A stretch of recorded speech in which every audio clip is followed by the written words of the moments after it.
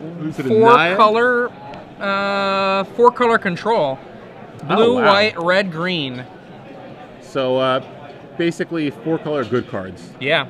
Two copies of Thragtusk, four Huntmaster that fell, three Augur Bola. So pretty interesting deck here. I mean, he has uh, two copies of Assemble the Legion, two copies of Sphinx's Revelation, two Selesnya Charm, two Essence Scatter, and two Plasm Capture, which we which we talked about earlier, which can't really do anything too abusive. He has Sphinx of Revelation, which you can cast off, as well as just casting Thragtusk with mana up. But uh, basically, just a four-color deck with a lot of good cards in it. Um, and he's playing against Eric Zimmerman on the right, who's playing a typical Bant Hexproof deck that we've been seeing a lot of in the feature match area this uh, this round. One of the things that Travis is unfortunate enough to have done in this game, double mulligan. So he's starting Wow. out way down in cards. An Invisible Stalker on a Rancor comes to, uh, with a Rancor. So I'm surprised Travis didn't tr- try to just Essence Scatter, because you can see he has an Essence Scatter in his hand. I'm surprised he didn't just Essence Scatter the, uh, the Invisible Stalker. He doesn't really have a good answer to it in his deck. He has, uh, this is game three, so he's actually a sideboard. He has one copy of Ray Revelation, um, one Pillar Flame, one War Leader's Helix, but not not much to target creatures. So surprised he didn't just use the Essence Scatter there on the uh, on the uh, Invisible Stalker. Essence Scatter is kind of a funny card in a Cavern of Souls world. Eh, Yes, but the, the thing is, um, the, the only deck where it's really terrible against is Naya Humans.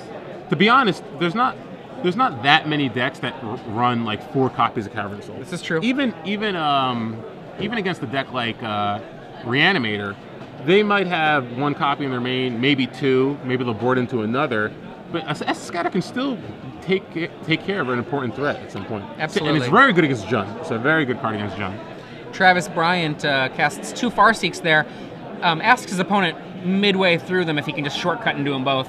Eric's absolutely fine with that. Attacks with his Invisible Stalker on his turn, knocks a big chunk of Travis Bryant's life total away. We see a War Leader's Helix, which looks like it's going to be uh, the Thragtusk is a part of it too. So he's got nine life gain between those two cards.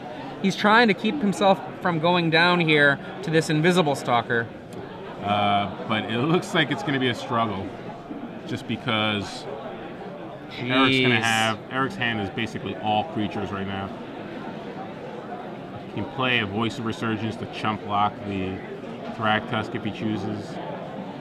So it's going to be tough for Travis to try to win this race right here. Smiter, Smiter, Smiter? Is that what his hand is right now? Yeah. And uh, Travis Bryant. Wow. Wow.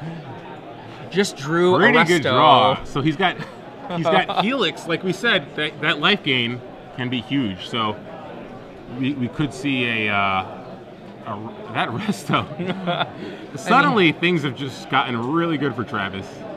And he remembers not to pass the turn. I can't mess around. Voice of Resurgence makes things very difficult for me. So main phase, gain another five life, and get a beast token in play. So now the life totals have just switched. Like Yeah. another that's 10 life that he has gained. Not so bad. So suddenly life totals are equal, but Travis has a lot more power in play and a War Leader's Helix, which again can swing things back in his favor. So Travis goes down to 10 from the Invisible Stalker hit. Eric has a couple of. Oh, so it looks like the. I'm sorry, the Voice of Resurgence also attacked and is just getting chump blocked, uh, getting blocked by the Beast token. So an Elemental will come into play now. That is a currently a 2 2. Eric has several copies of Lockdown Smiters. So Lockdown Smiter is going to come down. Maybe an Avacyn's Pilgrim too. Is that in his hand? No, Strangleroot guy. So he has uh, still has a lot of power in play. Let's see what. I think Travis we're going to uh, see an attack, and in the combat, I expect that the smiter will get blocked in the hopes of uh, eating that elemental as well, or Um, just beforehand. Maybe he's just going to main phase. He doesn't want to block. Yeah. So I like that play. No You- tricks. You don't want him to block. Yeah. You don't want him to block. You want to gain four life and swing in here for a lot. Up He's to got- now he's got a chump block with the elemental if he wants to block at all. Up to 14 coming in here for 11 damage. Travis, remember, double maul this game. Double mull, but hey, Thragtusk Restoration Angel is effectively like drawing an extra card. So On Twitter, we got a little question from um, Adam Jansen's wife, wondering how many rounds this is. If you're wondering as well, it's a 10-round tournament, Yes. 450 players. Mrs. Jansen, Adam won't be home for a while. so Eric takes the damage, drops to four. So let's see what kind of offensive he can mount this turn. Is he just going to attack with those people? Does he draw another enchantment? Strangleroot Geist can come down, Geist, and a smiter. And he Smiter. does he attack here? Yes. In they come. So he attacks for nine, dropping Travis to five.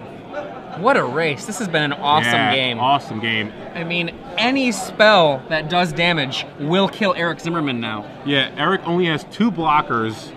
Travis can get three damage through. Can he get another? A Restoration Angel would be amazing here. Any Sphinx of Revelation would be amazing. A Selesnya charm would do it, and he's got them in his deck. A Searing Spear, a Pillar of Spear, Flame, Pillar. A lot of outs here. Basically, just doesn't want to draw a land. and he attacks with just the Angel. Ah. And the Spear! Wow. Double mull. Travis Bryant Oh takes down goodness. Eric Zimmerman on the back of 14 life gain from Thragtusk, Restoration Angel, and then the War Leader's Helix. It's got to be the hat. oh, Can we get a judge to check whether or not he's got Searing Spears underneath that brim of the hat? Wow. Like, nope. So, yep, uh, Travis Bryant off of Mulligan managed to beat Eric Zimmerman on the back of Restoration Angel Thragtusk. Really Nice. It's funny, we've been talking about it all around, it seems like, but that life swing, Yeah, you know, in these matchups, that one turn where you gain that life is all that matters. absolutely. And like